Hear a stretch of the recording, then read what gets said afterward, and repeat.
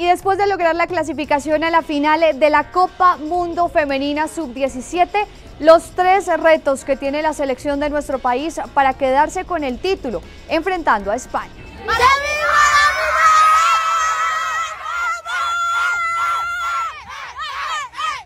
El primer reto, la concentración, 90 minutos en el que no pueden despegarse de la selección española. Y es que lo decimos porque el equipo europeo está acostumbrado a definir sus partidos en los últimos minutos. Lo hizo ante Colombia en el primer duelo de la fase de grupos. También lo hizo ante Japón en los cuartos de final, remontando el marcador. Y ahora lo hace ante Alemania en el minuto 90 consiguiendo la clasificación a la gran final. Concentración al 100% del equipo de Carlos Paniagua.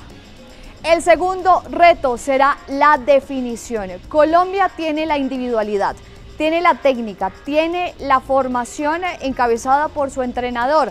Ahora tiene que ser más definitiva en el área. En el último partido ante Nigeria, 12 opciones claras de gol y no consiguió definir ninguna de estas. El principal reto que debe trabajar y que tiene que tener el equipo nacional será definir todas las opciones que logre crear.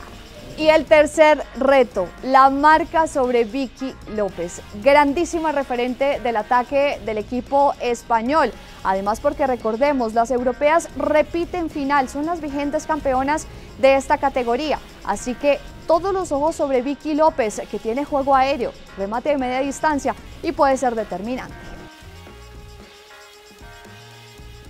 Recuerden entonces programarse para este domingo 30 de octubre a partir de las 9 y 30 de la mañana de Colombia, esta gran final entre Colombia y España del Mundial Sub-17. Los leemos.